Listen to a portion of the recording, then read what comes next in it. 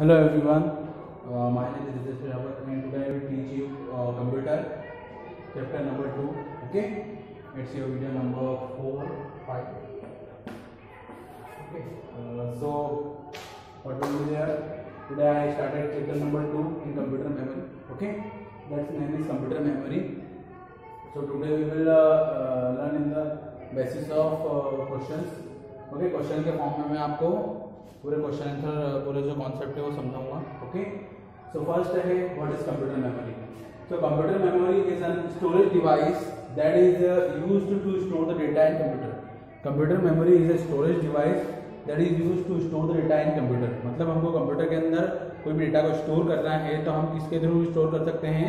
Computer memory के through store कर सकते हैं okay then after right the types of computer memory types of computer memory तो computer कितने जो मेमोरी है, उसके टाइप्स कितने होते हैं? टू टाइप्स होते हैं। फ़र्स्ट होती है प्राइमरी मेमोरी सेकेंड दूसरी होती है सेकेंडरी मेमोरी जो प्राइमरी मेमोरी होती है, उसे हम मेन मेमोरी भी कहते हैं। और जो सेकेंडरी मेमोरी होती है, उसे हम एक्सटर्नल मेमोरी भी बोलते हैं। Okay so what are the uses of primary memory and secondary memory primary memory what is primary memory primary memory is use to store data in computer system ये क्या करती है डेटा को computer के अंदर का स्टोर करके रखती है है ना? और इसे हम मेन मेमोरी कहते हैं और ये फास्टर होती है हमारी सेकेंडरी मेमोरी से ओके देन आफ्टर हम सेकेंडरी मेमोरी की बात करें what is secondary memory secondary memory क्या होगी? Secondary memory is a memory which is use to store the data permanently in computer system मतलब हमको डेटा को स्टोर करना है परमानेंटली मतलब हमेशा के लिए स्टोर करना है कंप्यूटर में। तो हम जो हमारी सेकेंडरी मेमोरी होती है, उसका यूज़ यूज़ कर सकते हैं। लेकिन ऐसा होता है कि हम उसे डिलीट भी कर सकते हैं। परमानेंटली का मतलब ये है कि आप उसे स्टोर कर सकते हैं, जब चाहे आप उसे यूज़ कर सकते हैं या फिर डिलीट कर सकते हैं ओके और प्राइमरी मेमोरी में ऐसा होता है कि आप डेटा को स्टोर तो कर सकते हैं, लेकिन वो जो डेटा होता है, वो परमानेंटली स्टोर नहीं होता है। जब तक आपने कंप्यूटर चालू रखा है, तब तक वो डेटा स्टोर रहेगा। लेकिन जब आप कंप्यूटर को स्विच ऑफ़ करेंगे या फिर किसी प्रोग्राम को बंद करेंगे तो हमारा डेटा जितना भी रहता है, वो सब चले जाता है। तो इसके बारे में डिटेल में आपको सिस्टम के ऊपर बताऊँगा, है ना? तो अभी हम देखते हैं यहाँ पे क्वेश्चन को। सेकेंडरी मेमोरी आपको समझ में आ गई होगी, है ना? फिर क्वेश्चन नंबर फाइव है।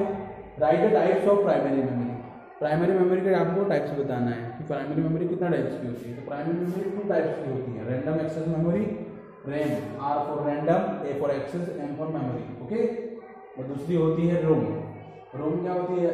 रीड ओनली मेमोरी ओके तो ये दो टाइप्स होते हैं प्राइमरी मेमोरी के। ठीक है?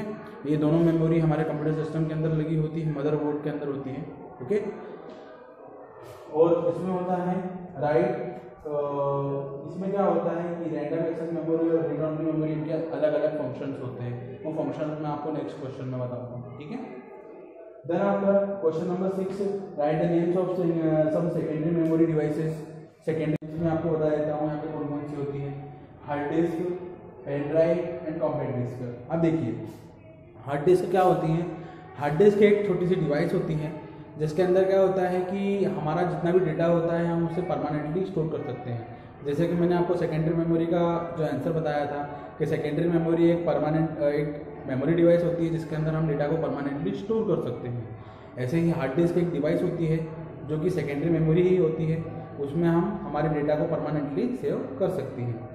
और साथ ही साथ हम उसे चाहें तो उसे रिलेट रिमूव भी कर सकते हैं। उसमें कोई आ, हमको कोई चेंजेस करना हो तो चेंजेस भी कर सकते हैं। जैसे हमें हमारी कोई फ़ाइल है उसमें चेंजेस करके वापस उसको स्टोर करना हम कर सकते हैं है ना? देन पेन ड्राइव जो होती है पेन ड्राइव एक छोटी सी डिवाइस होती है। आपने देखी होगी छोटी सी डिवाइस होती है चिपसेट जैसी है ना? छोटे छोटा मतलब उसका जो साइज़ होता है वो छोटा होता है। जिसे हम पोर्ट्स के थ्रू हम कंप्यूटर सिस्टम में इंटर करते हैं। कनेक्ट करते हैं और उससे हम डेटा को शेयर कर सकते हैं। उसे हम पॉकेट में हमारे पॉकेट में रख सकते हैं और कहीं भी, भी ले जा सकते हैं हम चाहे जहाँ है ना? और किसी भी सिस्टम में हम उसको इंसर्ट करके हम वो डेटा हमारा एक्सेस कर सकते हैं। मतलब ये एक बहुत अच्छी और उसके बाद आती है हमारी कॉम्पैक्ट डिस्क कॉम्पैक्ट डिस्क आपने देखा होगा कि एकदम गोल वाली डिस्क होती है सीडी जिसको हम बोलते हैं नॉर्मल हमारी लैंग्वेज में है ना? तो सी डी शॉर्ट फॉर्म है कॉम्पैक्ट डिस्क का। C for compact D for disk okay तो सी डी जिसको हम बोलते हैं। तो आपने देखा होगा, आपके घर में मम्मी पापा की शादी